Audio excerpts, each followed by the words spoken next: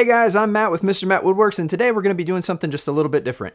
The folks over at Suckit Dust Boot were kind enough to send me out uh, a Suckit Dust Boot for my X-Carve. So today I'm going to be going over the installation instructions on that to show you just how quickly and easily this goes together and how much dust it'll save you when you're using your X-Carve.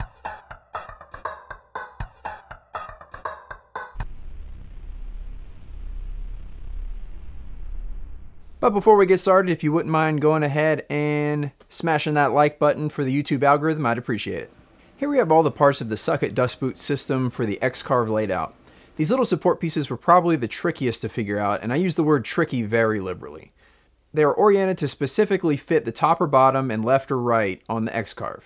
This really isn't hard to figure out, just make a little note of where each piece is going ahead of time. The only actual surgery I needed to perform on my existing setup was to remove the original probe input and attach it to a new piece that will fit into the upper top right support bracket with the new dust boot. Once the bottom support is in place, a spacer is added and then the aluminum guide rails.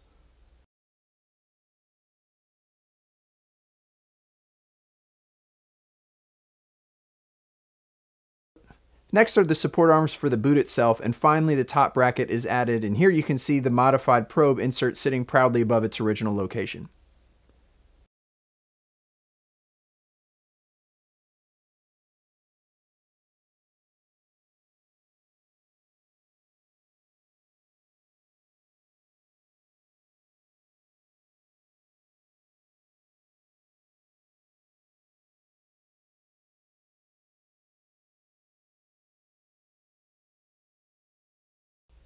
Then repeat on the other side. Bottom clip, spacer, rail, support arm, and finally the top clip.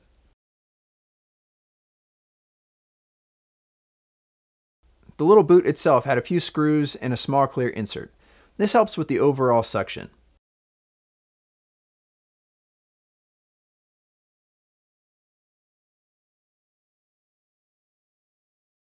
Lastly, there's a small piece held on by magnets that allows your bit to pass through when attaching or removing the dust boot from your CNC.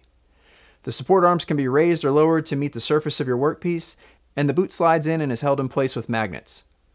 This thing was super simple to put together, and if you've ever built anything with Legos, it's pretty much the same thing. Again, thanks to the folks over at Suckit Dust Boot for sending this out and helping my shop get a little bit less dusty. If you like this video or found it helpful, go ahead and hit that subscribe button and there's also a little bell for notifications. You can hit that and it'll let you know whenever I posted a new video.